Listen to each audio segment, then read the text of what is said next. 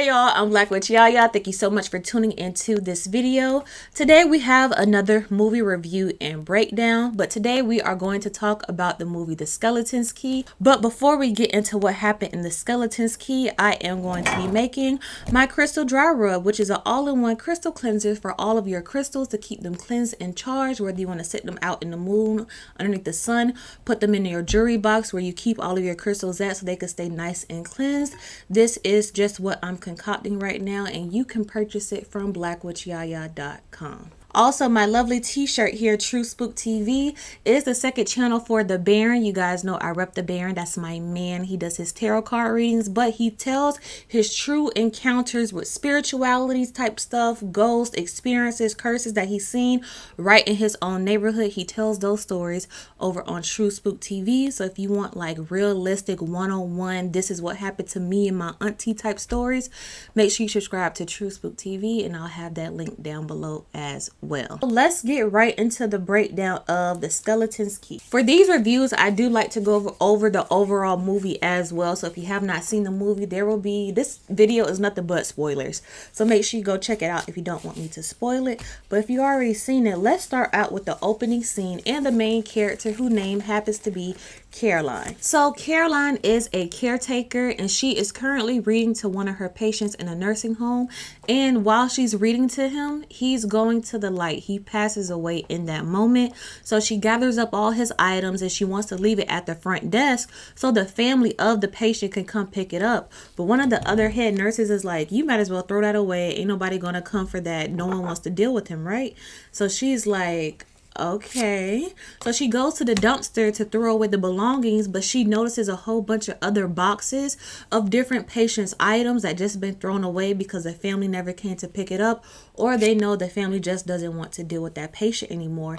And they told her in a way of like, all right, hurry up and get his stuff out of here because we need to put somebody else in this room. As if they were just so in a hurry just to get ready for another check. Caroline did not like that. She ended up taking the belongings herself and just going through it and reminiscing on him being her patient. And she starts to look for another job. And she sees an ad in the newspaper that says hospice caretaker $1,000 a week. And of course, like I just said, CNAs and HHAs don't get paid enough. So $1,000 a week sounds quite wonderful. And it's for a private patient. And this is going to be in Terrebonne Parish, if I'm pronouncing that right.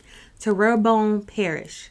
And like many of my stories, this takes place in New Orleans. So Caroline is excited. She's like, wow, I just quit. Then next thing you know, I see this ad. It's perfect. It's going to be a Terrebonne Parish. So her friend Joy is like, you know that's in the swamps, right, girl? Ain't nothing down there but creepy things and haunted houses and all that ugh, stuff. So her friend is telling her like that's a dangerous area. It's so far away. Are you sure you want to do that? And her friend is kind of like, girl, did you hear me? It's a thousand dollars a week. Of course I am. And she's kind of tired of being in nursing homes where they don't really care for the patient.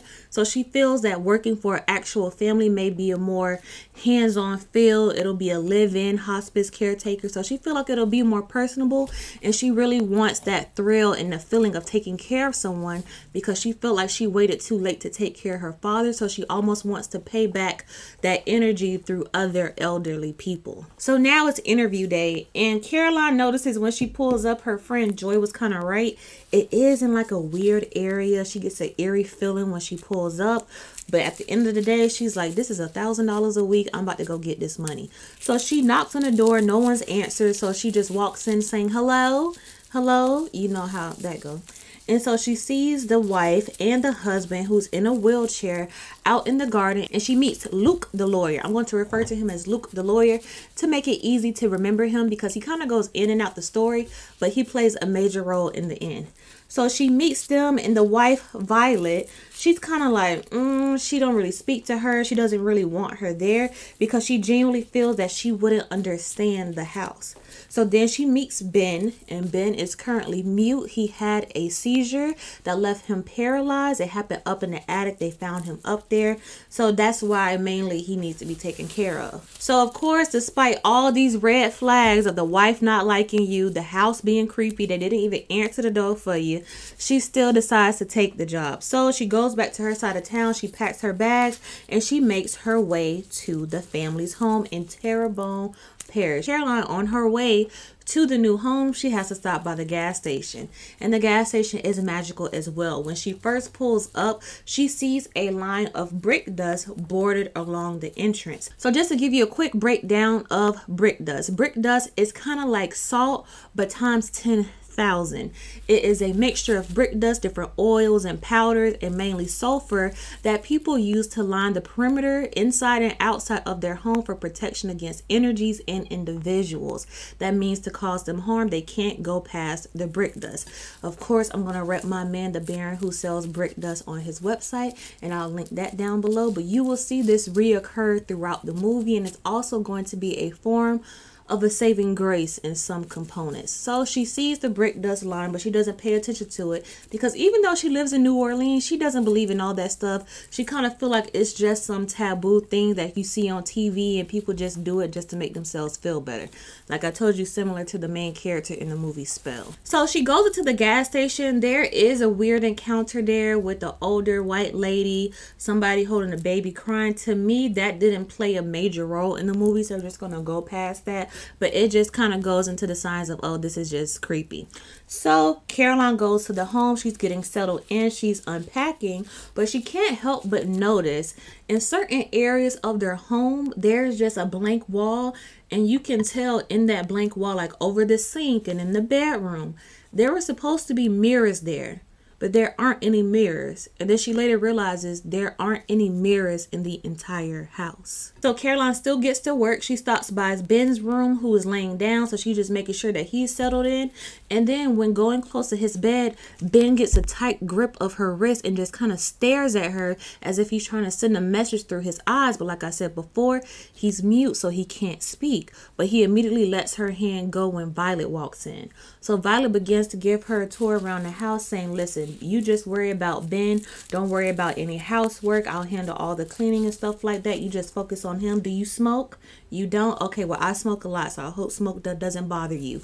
Over here is this. Over here is that. This room is this. So Violet is continuing to give Caroline a tour, and Caroline asks, so how long have you guys been living here? And she tells Caroline the story of, oh, we purchased this house from a brother and sister who fell on hard times, Martin and Grace, and she points to a picture.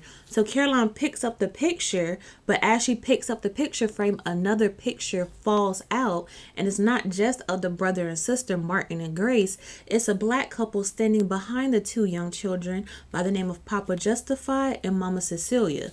She sees the photos, but she doesn't really pay attention to it. She just slides the picture back and they continue to tour. So Caroline then asks her, So why aren't there any mirrors in the house? And Violet makes a joke, oh, when you get old and wrinkly like us, you don't want any reminders. So Violet just brushes that off and she's like, well, anywho, there are 30 rooms in this home and this key here will open each room. So is this a key? No, but it's a brass ankh that you can get from blaquewitchyaya.com. It's very, very pretty. You can put it on your altar and you can utilize it during your spell work, your manifestations, or what have you. You can charge it. You can use the crystal dry up to charge it to your energy as well. I'll have this link down below. So Violet hands her a skeleton key, which will open every single room in the home. Violet does tell Caroline, if you want a small personal use mirror, you can have one. I wouldn't mind. Keep that in mind.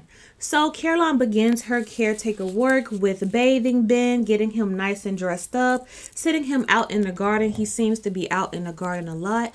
And so while Violet is up there planting, she asks Caroline to go up to the attic to get some of her seeds that she needs. So Caroline does so. She goes up to the attic, but we will notice throughout this movie, Caroline is nosy, but she's the type of nosy that I like. So she goes up to the attic and she just doesn't stop at getting the seeds. She continues to search through the attic. Then she notices notices a small door that's hidden behind like this little dresser that has things on it. So she moves everything out the way and she notices that it has a lock and key, but the skeleton key, which is supposed to open everything in the house, doesn't open that small door. But when she tries to jiggle it, she notices the door begins to move and bang as if someone's trying to get out and moving the door on the other side. With Caroline being nosy, Violet is like, where is this lady at? So she's about to start making her way to the attic, but Caroline comes down and hands her the seeds and says, I thought you said this key opens every room to the house. There's a door up there that I tried to open, but the key didn't work. And so Caroline says, oh, I never been up there there. They must have added that on to the house. I just, you know, never grew curious of it. And then Caroline, you would think she would just be like, okay. But she's like, but didn't Ben have a stroke up there? was was he behind that door like what was going on so she's asking all the questions that we want to know and so violet's like i don't know why don't you ask him and as we know ben is mute so she was being sarcastic like girl shut up like i don't know so that night, Caroline is getting ready for bed. Then she sees a weird shadow. And then she starts to hear a lot of commotion going on. So she's going throughout the house to figure out where that commotion is coming from. And she sees that it's coming from Ben's room. So she uses the key to open Ben's door. And she sees that the window is open and it's a storm. So all the rain is coming in. So she's looking for Ben to see where he is. And he fall off the bed. And then she looks through the window to find Ben on top of the roof trying to escape. So he's right on the edge. He falls off. Caroline runs downstairs to try to save him. And then Violet comes and she's like, Oh my gosh, Ben, what did they make you do? So immediately we're like, Who is they? Why would they make him do something? So Violet tells Caroline to go get the wheelchair. And so when she goes back up to Ben's room, she sees that a whole lot of stuff is knocked over. It's a whole lot of commotion for someone who is supposedly bedridden. Like if you bedridden, how did you move all this stuff around? And so then she sees a sheet laying on the floor. And when she holds up the white sheet, it says, help me. So she gets that sheet for herself. She grabs the wheelchair and she goes down to get Ben back in the bed. So the next day, Luke the lawyer comes, and so he's just kind of checking in. He's going. He's there to update the will because they're, you know, like I told you guys before, it was a hospice situation, so they're expecting him to pass away eventually. And so he he's coming there to go over the estate section in the will. So Caroline's like, "Hey, can I show you something?" So she gets the sheet that she hidden out of her closet to show him, like, "Listen, I don't know what's going on. He was on top of the roof last night. They said he bedridden, but how can a bedridden person start crawling on the roof? And look at this sheet. It says help me. But when she opens up the sheet, it says the plain white sheet. The wording is gone. So, of course, Luke the lawyer does not believe her, so she continues on with her own investigation. She makes her way back up to the attic, and this time she has a bobby pin, it looks like, with her, so she could be able to pick the lock to that secret door. So she was able to get in, and as soon as she opened the little door, a big gust of dust blew out, but she still was able to make her way in. So she starts snooping around, and what it looks like is a little root work type of shop, similar to the movie Spell. It looked exactly like that. So she sees jars of different artifacts. She sees skulls heads, snake heads. She sees a whole lot of stuff going on. And so then she runs across this photo that has Martin and Grace along with other people, but Papa Justify and Mama Cecilia is located in that photo as well. And then she runs across a book, and the book is titled Receipt Book of Papa Justify and Blessed Teaching. So basically, whoever this Papa Justify guy is, she found his spell book. So the first page she turns to says chalk, sulfur, blood, hair, conjuration of supreme protection. Remember that for later in this video. So as she continues to snoop, she notices a ring that has three snakes on it. And she runs across an album that's titled Papa Justify, Conjure of Sacrifice, August 24th, 1920. So while Caroline is up there in the attic being nosy, Violet is downstairs doing her own investigation to see where Caroline is. So she gets a feeling that she may be in the attic. So she starts making her way to the attic while Caroline continues to look throughout the attic. And like I said before, there's some jars in there with different things going on. So she finds this one big jar that's drenched in fluid and has a cow tongue in it that's tied up. The reason she was able to recognize it was a cow tongue because she got scared by noise of Violet coming up. She dropped it and you can see a big old cow tongue that is tied up. I'll pause right here just to give you guys a little insider. The cow tongue is basically a spell that is used by a lot of people for people just to shut up. It's usually used against people who are speaking against them, that's stopping their prosperity, that's stopping their peace. So they'll do up a spell for that person using the cow tongue, signifying for their tongue to get tied anytime they try to speak against the individual. And this is where the audience can probably put two and two together that that cow tongue was for Ben hence why he is mute. So immediately you start wondering, so why did they put a spell on Ben? What's up with Ben? Is he an enemy? Like what's going on? Let's continue. Caroline is almost busted by Violet. So she was able to escape and hide and all that good stuff. But she kept the album with her. So when she made her way back to her side of town, she started to play the album to see what it says. And it seemed like some type of spell ritual was going on. And we just hear Papa Justify's voice. So she's back on her side of town. So her friend Joy walks in like, what are you doing? And so Caroline kind of tells her, like, gives her the whole rundown. And Joy is like, listen, I don't know nothing about that, but I could take you to a shop where my aunt used to go. She's kind of into this type of stuff. So she takes her to what looks like a wash house, like a washer, what do you call it? A laundromat. And so, of course, they didn't go in just yet, but she's like, that's where my aunt used to go. But Caroline will make her way back there a little later. Caroline is now back to work, so she's tucking Ben in and she's looking through his room and she sees a spot on the wall where a mirror used to be. So Caroline, being the, I don't know what she got going on, she took it upon herself to put the mirror back on the wall. And when Violet sees the mirror, she immediately freaks out. I had me a good old amethyst buried underneath there. So Violet storms in Caroline's room she's like, I told you absolutely no mirrors. Violet takes the mirror, she put it back in the attic where all the other mirrors were. That's where Caroline originally found the mirror. All the mirrors that were once in the house are just stored up in the attic, covered with blankets. Caroline storms up behind her. She's like, You said you didn't have a key to go in that room, but yet all the mirrors in the house are up there and you took the mirrors down. So what's going on? And Violet's like, Look, you're not from the South. You wouldn't understand this. Just don't go up there and start touching stuff. This house is theirs as much as mine's. And so Caroline's like, This house is as much as whose as yours. So Violet begins to tell her this story. This house belonged to a banker named Thor. Him, his wife, his children, and they had two servants, Papa Justify and Mama Cecilia.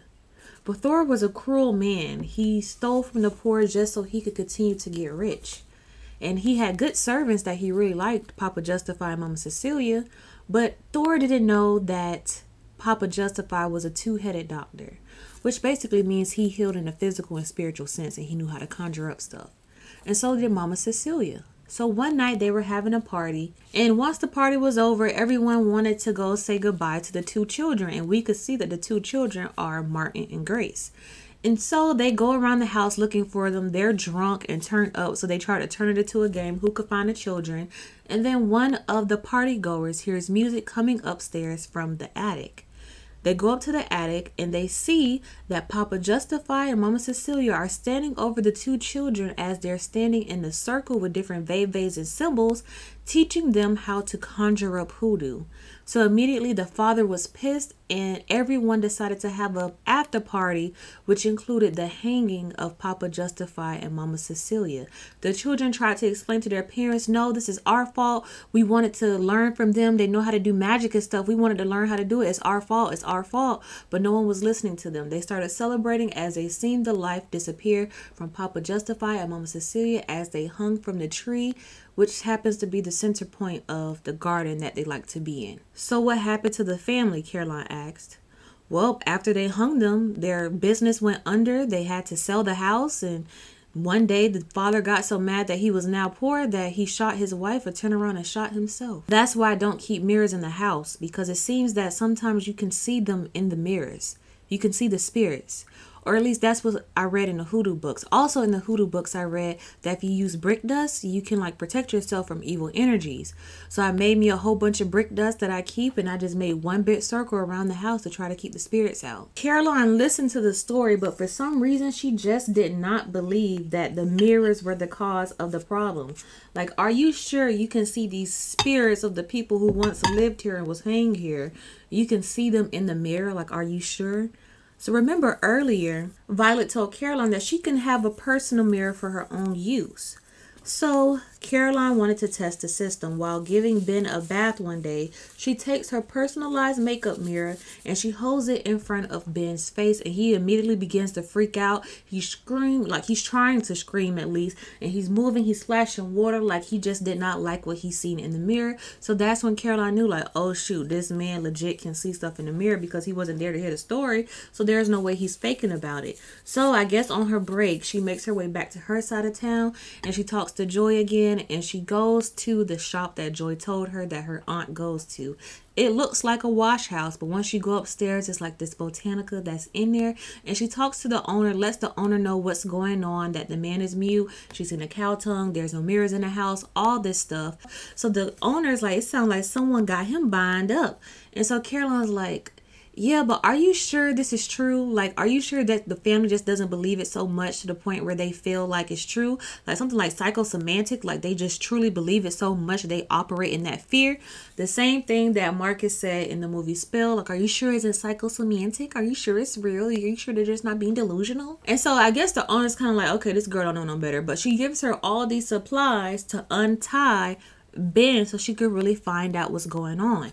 So she goes to Ben's room one night. She gets to work. She takes the cross candle. She lights it up. She pours oils on it. It's sitting in a glass bowl of water. She puts all the herbs in it, basically doing a reversal spell for Ben. And she takes the, as the candle's burning and she has the cross in there, she's taking the water and she's throwing it on Ben. So as she's splashing the water on him, she continues to say the following spell Cleanse this man, cleanse this room, cleanse this house his words has gotten lost, lost and wandering in his mind. Let the water run down and let this water wash away. This condition in his tongue has gotten tied, tied and tangled in his throat. Let the water run down and wash away this affliction.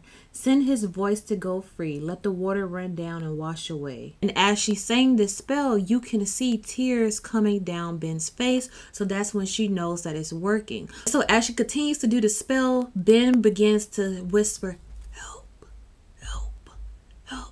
So before he wasn't talking, so she know the spell worked. And then Caroline asks, Well, what are you afraid of? What's going on? And he points at the door. And then Violet begins to try to come in the door, like, What are you doing? What's going on in there? What's all that commotion? Let me in. Caroline, let me in. So Caroline continues to do the spell to make sure everything is done. And so Violet pulls out her key to go into the room. And so Violet storms in. Caroline was able to cover up everything. And then Violet's like, Well, that's it. You don't need to do anything else for tonight. And then Caroline's like, Are you sure I can continue to tuck him in? And Violet's like, No, you're done. Like, just go. Because I guess she wanted to tie him back up and have that privacy so she could redo her spell. So now Caroline knows something is for sure going on. So the next day, Luke the lawyer comes. So she's again trying to explain to Luke the lawyer, like, listen, there's something odd going on. I knew from the moment that I got here, something is off. So she goes back to the gas station with Luke the lawyer to talk to the old white lady that she saw before. And basically from this conversation, she knows that the old white lady knows about Papa Justify and knows about his power and all that good stuff. And the spell that she turned to before, the Supreme Conjurer, is basically a spell where you take someone's years from their life and add it to yours. And so from there, Luke the lawyer is like, okay, listen, Caroline, you just try to get as much proof as you can. I can get a restraining order if Violet is really is putting Ben in danger. Just just go get me the proof. And Caroline's like, okay, but in actuality, she's like, listen, that sounds cute, but I gotta get to work myself. So when she gets back to work at the home, she notices that Violet's in the kitchen cooking, acting like nothing ever happened. We see Violet cutting up some chicken feet and putting it in some type of soup. So already we know that something is off. And Caroline knows that something is off in general because all of this stuff that's going on. So she goes to the shed area and she finds where Violet was keeping the brick dust and she takes a bunch of it. So she lines her room door with the brick dust and covers it over a rug. And so she calls Violet in the room saying, Hey, Violet, there's this leak up here that I hear. Come look at it. And Violet's standing at the door like, oh, well, I'm cooking right now. I could come look at it later. And then Caroline looks at Violet at the door and notices that she's not walking in. She's like, no, just look at the leak really quick. I feel like it's really bad. Mind you, this entire time, Violet has not crossed the entryway. And she's just like, oh, well, I'll look at it later. I'm sure it's fine. And then Caroline's like, no, I really want you to look at it. It looks like a bad leak.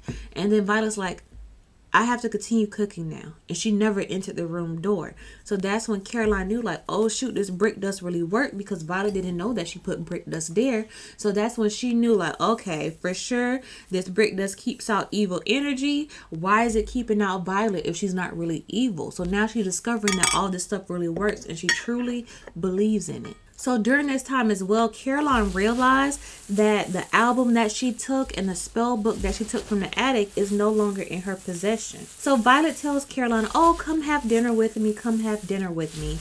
And so Caroline is already suspect of what's going on. So Caroline took some type of substance and put it in some sugar cubes that, that Violet usually uses for her tea.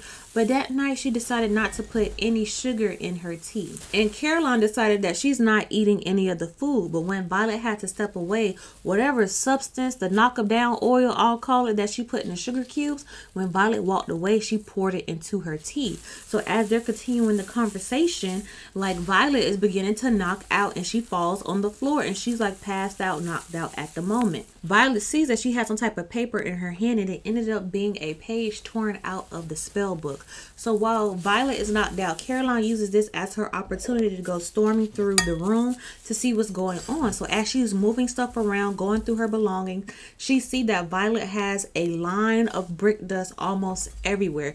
At the door, underneath her bed, all of that stuff. She notices the spell book that Violet took from Caroline. And she also notices that Violet had a lock of Caroline's hair. And you know that sheet from earlier that somehow disappeared that said, Help me? Violet was the one that went and switched out the sheets in her room. So when she tried to tell Luke, the lawyer, that something was going on, she would just be showing a blank sheet. So now that Caroline knows Violet is officially up, it's time for them to escape. So Caroline grabs Ben, wheels him down, puts him in the car. They try to go somewhere, but they ended up seeing that Violet locked the front entrance gate from the outside. So she tried to drive through, Car was all busted up. They couldn't drive through, so she took Ben. She hid him in the shed. Meanwhile, the whole time, Violet got her evil behind back up, but she got a rifle and she hunting down Caroline. Caroline is running, running, running. She ends up hopping in the boat and going through the swamp, going to Ben's house. Not Ben's house, Luke's house, Luke the lawyer's house. And so she's telling Luke all of what's going on. Violet ends up calling Luke. So Luke is acting like, okay, let, let me take this call. I'm going to talk to her. So Caroline, like I told you before, is very nosy. So she goes through snooping through Luke's house and she opens the drawer, finds pictures of her, and she sees all of the evidence that she's been giving Luke to prove her case just stored there, the rings and everything. And so Luke sees her looking. He goes behind Caroline, chokes her out, and brings her right back to the house, but that doesn't stop the battle. Caroline continues to run and hide. She ends up using the brick dust all around her. So they're trying to chase after her, but they can't get to her because she's using the brick dust in every area. So now we know Violet and Luke are in it all along. Caroline makes her way to the attic and she remembers the circle that Violet told her about in the story with Papa Justify, Mama Cecilia, and the two kids, how they were sitting in this type of circle with candles all around them and they were conjuring up hoodoo. So Caroline immediately believes, oh my gosh, if I make makes their circle, it'll protect me for whatever they're about to do. She draws a sigil from that paper and the spell that she took from Violet. So she thinks she just did something. So when Mama, not Mama, so when Violet and Luke, the lawyer, walks in, they see her standing in the circle and they're thinking, oh, perfect. While Caroline up there thinking that, oh, I made a sign of protection. You guys can't get me. And then Violet's like, yeah, it protects you from leaving the circle, not from us going in. And so Caroline is like, oh my gosh, what did I just do? She realized she must have misunderstood the spell or did the spell wrong. So Violet is basically telling her, like, yeah, you can't leave that circle. So now you just got to stay there. So part of this interruption, guys, I just wanted to add in this quick tidbit to make this part of the movie a little bit clearer. So while Luke the lawyer and Violet are chasing Caroline around the house, Caroline makes her way to the attic where a big circle of lit white candles are already in place. So Caroline thought that that would be the perfect opportunity to draw the sigil that she's seen in Papa Justify's spell book in order to protect her. So basically, she thought it was the brick dust time 10,000, like, oh yeah, they wouldn't be able to get in this circle. But once she draws the sigil and everything, when Violet and Luke, the lawyer, comes in, they're thinking, oh, perfect, because that's what they wanted all along. So Violet explains to her, oh, that's not a protection for us not to enter the circle. That's for you not to leave the circle. So Caroline is immediately confused because she thought that was a form of protection, but it's to protect her from leaving the circle so they can do a spell on her. So Violet's explaining to her, like, I made you a believer. You believe in all this stuff now, so it's easy to do the spell on you. So immediately, Caroline begins to try to convince herself that she doesn't believe. So she's saying, I don't believe, I don't believe in this, and this isn't real. And Violet is basically like, It's too late, you do believe. So basically, the ceremony they're trying to perform is to switch bodies with her. And this is the exact same thing that happened earlier in this video where I told you guys where Papa Justify and Mama Cecilia had the two children sitting in the circle. They ended up switching bodies with the two children. So when they hung Papa Justify and Mama Cecilia, they were actually hanging the souls of Martin and Grace, their children. So Papa Justify and Mama Cecilia are still living because they continue to switch bodies with other people that they bring into the home. But you will see that play out towards the end. So Violet gets this full body mirror and she pushes it towards Caroline. It pushes her and she sees flashes of Mama Justify, not Mama Papa Justify, Mama Cecilia popping up. The mirror ends up knocking her out. Violet passes out as well. And then Caroline wakes up. Caroline wakes up. She goes over to Violet, who is knocked out, and she grabs a cigarette from her and a lighter and she smokes it. But we remember that Caroline doesn't smoke. Violet does. So Caroline basically put the spell on herself. When she made that circle, they transferred energies. So now Violet is now in Caroline's body. But it's not even Violet. It's Mama Cecilia. And Papa Justify is in Luke's lawyer's body. So now we see what we think Caroline and Luke the lawyer staring in the mirror, but now it's Violet's body, who we thought was Violet, but was Mama Cecilia the whole time, and Luke the lawyer was Papa Justify the whole time. And they're looking in the mirror, and who we see is Caroline, but is really Mama Cecilia. She says, I told you I wanted a black person this time.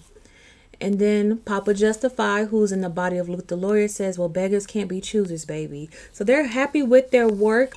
Ben is on a stretcher. Violet is now on a stretcher, which Violet is now Caroline and Caroline's body, but they both can't speak. And so then, before when all of this was going on, little rewind, Caroline called her friend Joy while the showdown was going on, telling her, like, listen, you need to come get me. You were right about this house. It's crazy.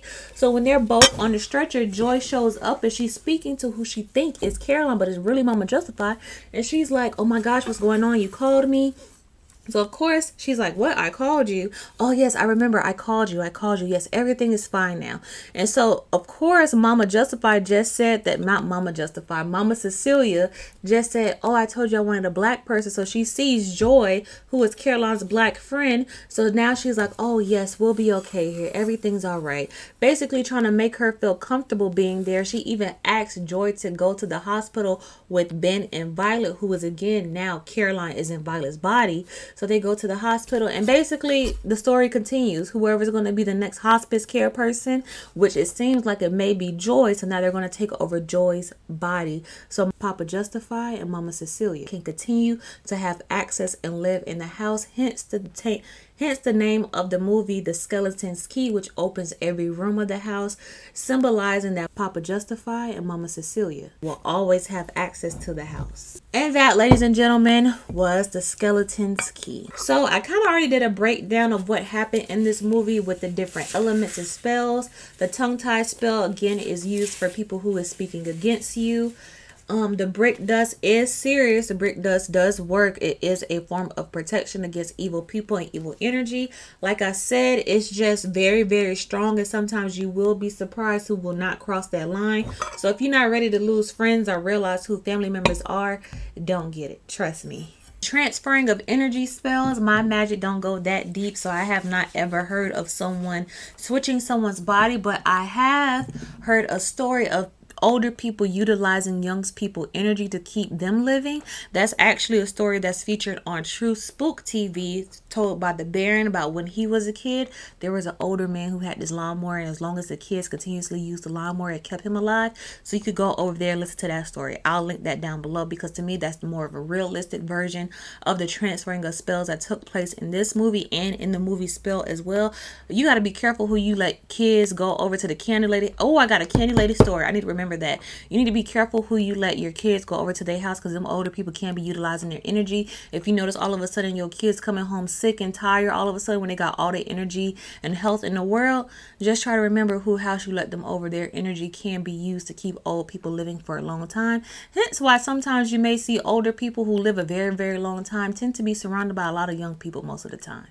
But yes, so that is the movie, The Skeleton's Key. I actually enjoyed that a little bit more than Spell, I believe, just because it had a lot of different of magical elements in there. With the mirrors, you guys know I told you in my mirror video, I'll link that down below as well. When you first enter into your home, you want to make sure you cleanse all the mirrors that's in that home because every reflection that has been shown in that mirror is stored in that mirror. So therefore, their energy is still there. You know how eyes are like the key to the soul soul. So imagine when you look in the mirror, you're looking at your direct deflection diving directly into your soul, and the mirror holds all that energy and interactions in that. So if you have a mirror that's been in a home where people are arguing, you may notice a lot of tension and arguments take place. So you just want to get rid of that old energy. I just talked so much. Lordy. Thank you guys so much for tuning into this video. Let me know if you guys watched The Skeleton's Key down below.